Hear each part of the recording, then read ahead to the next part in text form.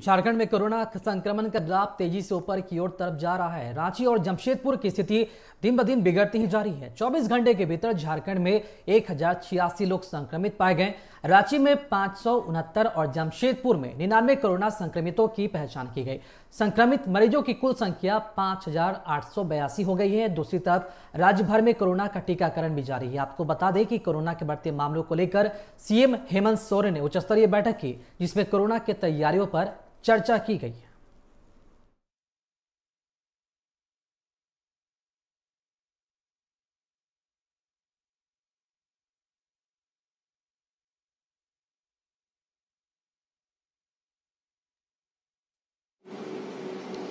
रांची से आया हुआ हूँ। ये मेरा पहला डोज है और कोई भी दिक्कत नहीं हुई। मैं तो चाहूँगा कि जितने भी लोग हैं, वे ले लें जो नहीं लिए हुए हैं। घर एक तरफ़ बिहार सरकार लोगों से कोरोना को लेकर एहतियात बरतने की अपील कर रही है तो दूसरी तरफ़ सत्ता पक्ष के नेता और कार्यकर्ता खुद कोरोना के नियमों की धज्जियाँ उड़ाते नज़र आ रहे हैं।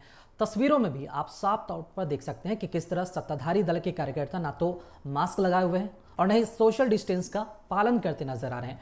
जब जनप्रतिनिधि कोरोना को लेकर लापरवाह बन दिख रहे हैं तो ऐसे में आम लोगों से एहतियात बरतने की उम्मीद करना बेमानी है।